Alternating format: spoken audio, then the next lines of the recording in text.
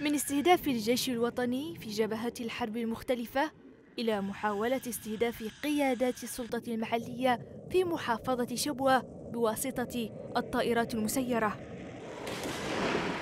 بهذه الطريقة تواصل الإمارات سلوكها في تصفية من تراهم خصومها. خلال الساعات الأخيرة قالت مصادر محلية إن طائرات مسيرة حلقت بالقرب من منزل محافظ شبوة محمد صالح بن عديو قبل أن تتدخل حراسة منزل المحافظ بإطلاق النيران عليها وإسقاطها.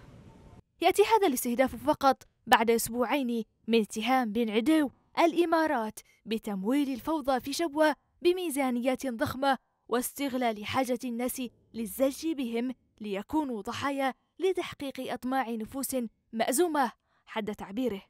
ليست المرة الأولى التي يتم فيها استهداف قيادات جنوبية بواسطة الطائرات المسيرة. فقد سبق أن تناوبت ميليشيا الحوثي والإمارات على عملية استهداف مماثلة لعدد من المعارضين لهم في عدن والضالع.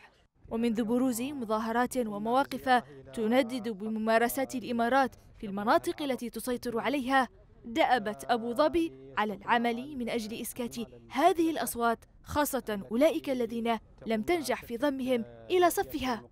تجلى ذلك في تنفيذها عبر ميليشياتها عمليات اغتيال ممنهجة للعشرات من أئمة المساجد في عدن. يذهب مراقبون إلى اعتبار أن مواقف الحكومة الشرعية الضعيف أمام ما تمارسه الإمارات في البلاد.